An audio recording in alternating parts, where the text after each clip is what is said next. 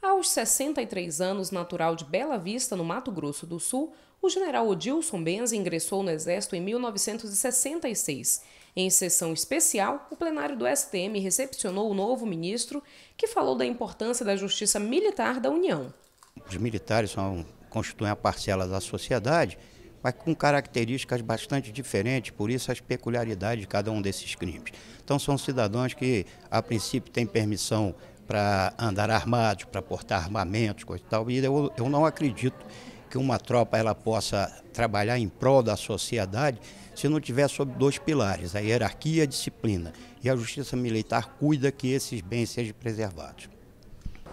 O general foi indicado pela presidente Dilma Rousseff para ocupar uma das quatro vagas reservadas ao Exército na composição da Corte Militar. Ele ocupa a vaga deixada pelo ex-ministro-presidente Raimundo Cerqueira, que se aposentou em junho deste ano.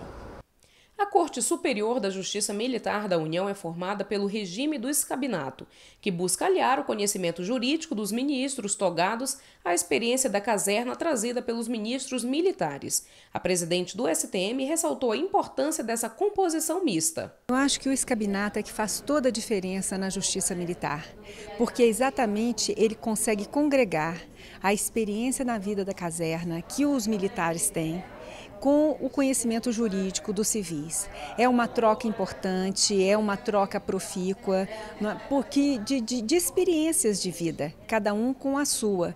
Porque muitas vezes simplesmente aplicar a norma ao fato não é o suficiente para que se faça justiça. E por isso, o papel dos militares aqui é de fundamental valor.